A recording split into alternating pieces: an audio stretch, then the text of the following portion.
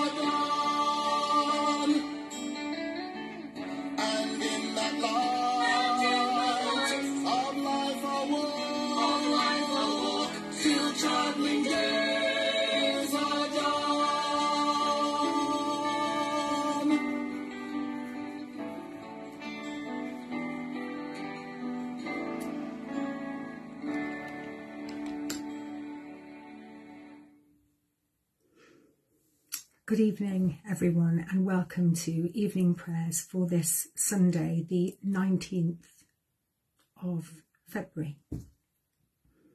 And in that light of life, I'll walk till travelling days are done. Amen. O God, make speed to save us. O Lord, make haste to help us. This is the day which the Lord has made. We will rejoice and be glad in it. You are my God, and I will thank you. You are my God, and I will exalt you. Give thanks to the Lord who is good, whose mercy endures forever. Glory to the Father, and to the Son, and to the Holy Spirit, as it was in the beginning, is now, and shall be forever. Amen.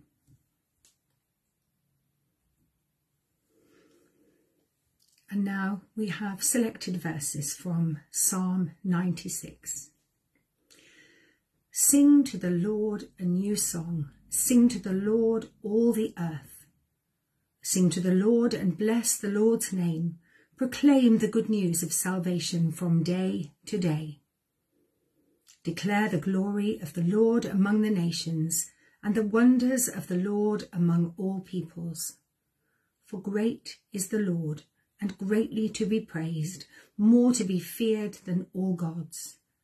Let the heavens rejoice and let the earth be glad. Let the sea thunder and all that is in it. Let the field be joyful and all that is therein. Then shall all the trees of the wood shout for joy before the Lord who is coming, who is coming to judge the earth. The Lord will judge the world with righteousness and the peoples with truth. Glory to the Father and to the Son and to the Holy Spirit, as it was in the beginning, is now, and shall be for ever. Amen.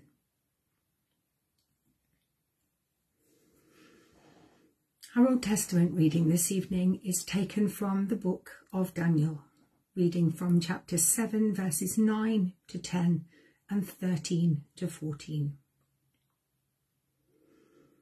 As I watched, thrones were set in place, and an ancient one took his throne. His clothing was white as snow, and the hair of his head like pure wool. His throne was fiery flames, and its wheels were burning fire. A stream of fire issued and flowed out from his presence. Thousand thousands served him, and ten thousand times ten thousand stood attending him. The court sat in judgment, and the books were opened. As I watched in the night visions, I saw one like a human being coming with the clouds of heaven. And he came to the Ancient One and was presented before him. To him was given dominion and glory and kingship, that all peoples, nations, and languages should serve him. His dominion is an everlasting dominion that shall not pass away, and his kingship is one that shall never be destroyed. This is the word of the Lord. Thanks be to God. Our New Testament reading this evening is from the book of John, reading from chapter 12, verses 27 to 36. Now my soul is troubled. And what should I say? Father, save me from this hour. No, it is for this reason that I have come to this hour. Father, glorify your name. Then a voice came from heaven I have glorified it, and I will glorify it again. The crowd standing there heard it and said that it was thunder. Others said, An angel has spoken to him. Jesus answered, This voice has come for your sake, not for mine. Now is the judgment of this world. Now the ruler of this world will be driven out, and I, when I am lifted up from the earth, will draw all people to myself. He said this to indicate the kind of death he was to die. The crowd answered him, We have heard from the law that the Messiah remains forever. How can you say that the Son of Man must be lifted up? Who is this Son of Man? Jesus said to them, The light is with you for a little longer.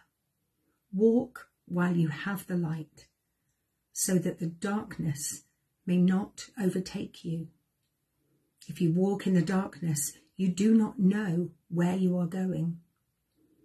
While you have the light, believe in the light, so that you may become children of light.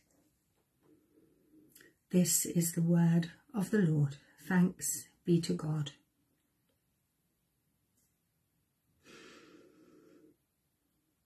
It's been a strange day, certainly for me today. And then when I read the beginning of this, of this reading, now my soul is troubled. And yet, today it has been a little bit troubled. But I have things that I can put in place. For starters, I went to church this morning to worship, and that was a wonderful time of being close to God, being in fellowship with other Christians, and feeling at one with the body of Christ where I worship. The other thing, of course, that we can all do when our soul is troubled is to pray. And just as Jesus did at that time, to glorify God's name. And sometimes that's really hard to do when you're troubled. You may want to be angry. You may want to shout. You may cry. But there's always a way to glorify God through our troubles. And I also have from three different people things that I can hold on to. I have a holding cross that was given to me by a very dear friend, and I use it a lot, and it is great to hold. I also have a little, if you can see it, a little piece of wood which has a fish on. And that stays at the bottom of my bag. And sometimes I can just hold it and I can put my worries away.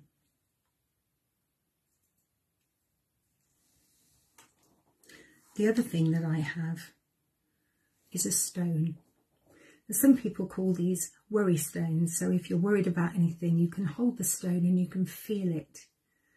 And my stone has a lovely textured cross. And on the back, it says, bless you. And my sister bought me this because I often say, bless you. But this has been a stone that again stays in the bottom of my bag and I can hold and I can give my troubles to God and feel that He is close. Just a few days before Jesus was to be crucified, he said, Now my soul is troubled. And what shall I say? Father, save me from this hour. No, it was for this reason I came to this hour. Father, glorify your name. Jesus knew that he was going to die on the cross. He could have asked God to save him. Instead, he only asked that his Father's name would be glorified. Why do troubles come into our life? Maybe the troubles come for the very reason that Jesus said, so that God's name will be glorified. I'm sure we've all known people who have followed the example of Jesus when they face trouble. We even, I'm sure, know people who have faced death with such courage and faith that God's name was truly glorified. Wouldn't it be really pleasing to God if all of us face trouble in such a way that his name is glorified? we pray, Father God, we all face trouble in our daily life. Instead of asking you to take our troubles away, we ask that you help us face those troubles in such a way that your name will be glorified. In your name we pray, Lord Jesus. Amen.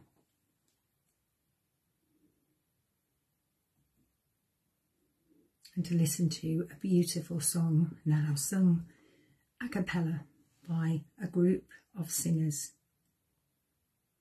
Father, we love you.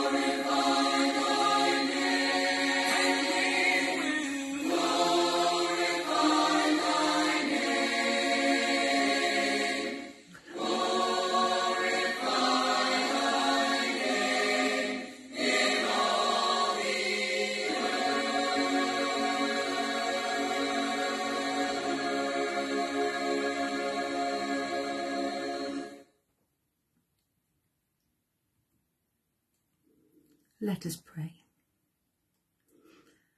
Lighten our darkness, Lord, we pray, and in your mercy defend us from all perils and dangers of this night, for the love of your only Son, our Saviour, Jesus Christ.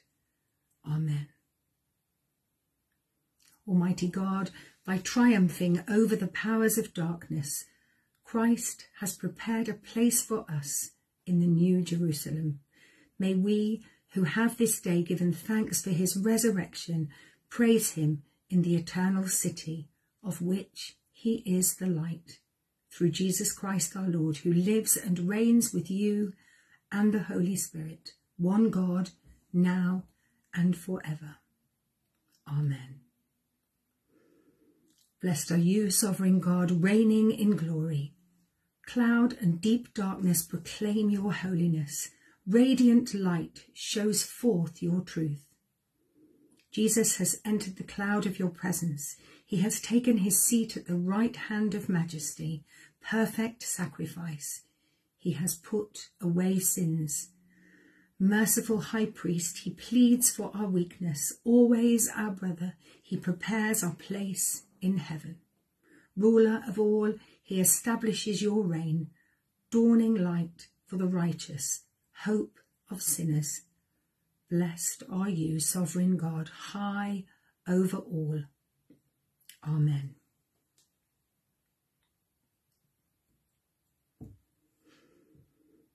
We're now going to begin our cycle of prayer for this East Midlands Synod. Our readings this morning, uh, this evening, sorry, have all reflected about the light, the light of Christ. And so tonight I light a candle, a candle of peace, a candle of light, and a candle of hope.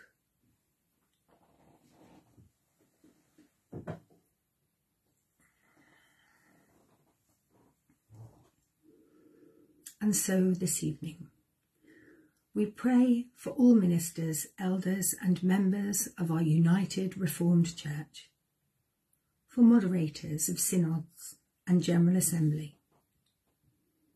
We pray for churches together in Britain and Ireland, and all who serve you the world over. We pray for our evening prayer partners in the US and in the Netherlands and in the Synod of Botswana. We pray for all of those Christians across the world who shine the light for you.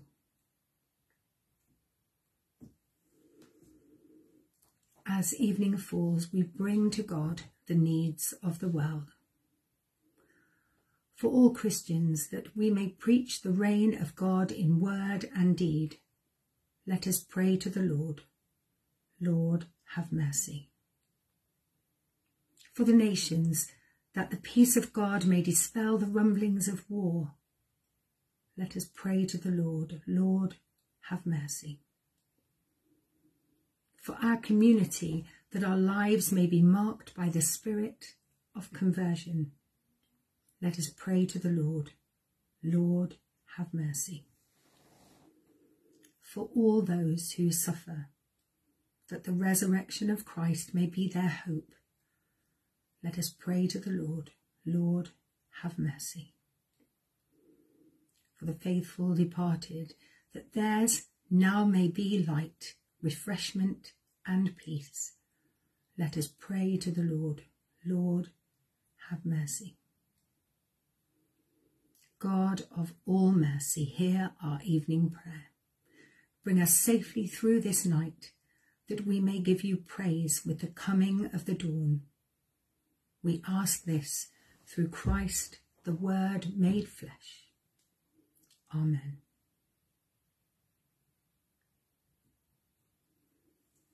And now, in a time of silence, I invite you to pray for people who may be on your hearts this evening, but I ask you also to hold the family of Nicola Bulley in our hearts and our prayers tonight.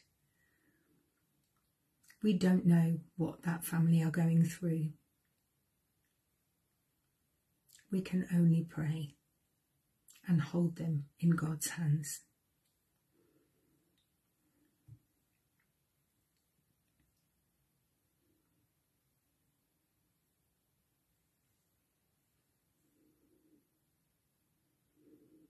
Father God, we pray for all of those who need prayer tonight. Families of loved ones lost.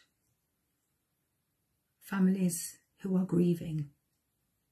Families who are torn apart. Families who are worried about the cost of living. Families who are ravaged by war and conflict. Families who are saddened by losing people in earthquakes and cyclones. Father God, all of those people that are in the news, that are known to us through the media, but all of those people who are not known to us, but who need you, we ask that you hold your loving arms around them, for you hold us all in the palm of your hand. In your name we pray. Amen. And now we come to all those people that have asked for prayer. We pray tonight for the family of the Reverend Tony Jones, who's in hospital, and for Hazel and the family. We pray for Vicky Longbone and for the Reverend Louise G. We pray with the Reverend Claire and the Reverend Brian Davison for Susie, their daughter. For the Reverend Derek Hopkins in his phased return to work. For the Reverend Martin Ferris as he awaits results. For the Reverend Stanley Crane in his continued recovery from surgery. For the Reverend Michael and Jean Forster the Reverend Graham and Vera Maskery, and Father Andy, Moyniers parish priest. We pray with Liz for her great nephew Ryan and for her daughter Emma and Emma's young son Leon. We pray for Cheryl and for Prince and the family in their ongoing care of her. We pray with Andy for Mike, his dad, and for Liz and Ruth in their ongoing care of him.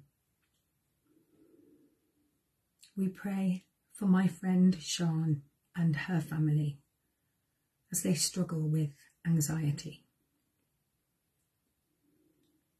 We pray for David and for Catherine, Emmy, and James. We pray with Irene for John and we pray with our friend Tom for him and his family. We pray for all those who grieve the passing of loved ones, praying especially at this time for those who grieve for Jean Bushby, especially the, Re- the Reverend Robert and Kerry Bushby and all the family. We pray for those who grieve for the Reverend Betty Chadwick, especially John, her husband, Carl, Laurie, Kay, and the family.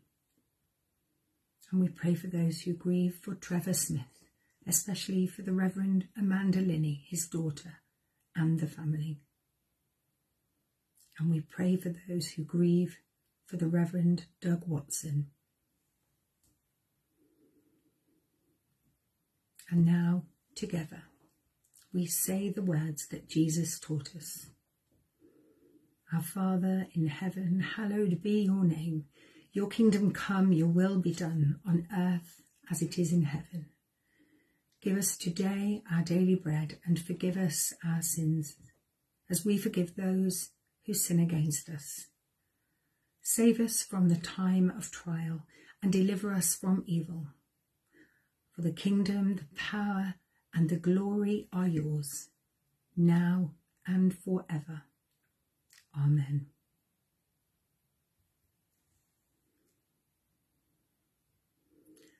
And now, going back to that gospel reading when Jesus said, Now my soul is troubled. There will be people this night whose soul is troubled. May they know the love of the Saviour. So let's listen to Paul Clares of Galway singing Calm the Soul.